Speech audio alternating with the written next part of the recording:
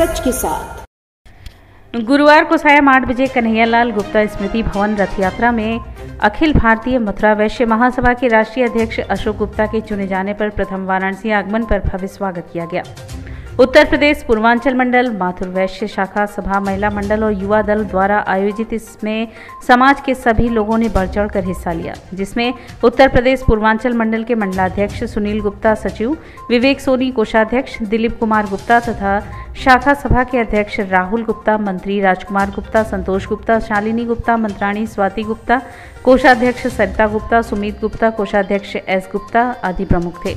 सभी ने अशोक गुप्ता के सम्मान में माल्यार्पण कर उनके अच्छे कार्यकाल की कामना की। हमारे यहाँ पाँच प्रत्याशी थे। अहमदाबाद से एक, कानपुर से एक, आगरा से एक, दो धीरे धीरे 21 तारीख नाम वापसी का आखिरी दिन था। 11 तारीख को नाम हम लोगों ने पर्चा भरा और उसके बाद प्रचार शुरू हो गया और 21 तारीख आते आते सभी प्रत्याशियों ने आपका समर्थन किया और मैं निर्विरोध निर्वाचित हो गया, जो पिछले दो दशक में अभी तक तो कोई भी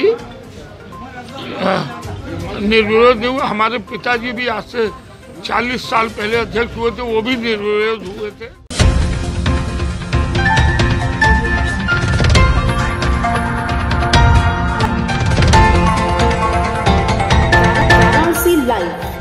सच के साथ।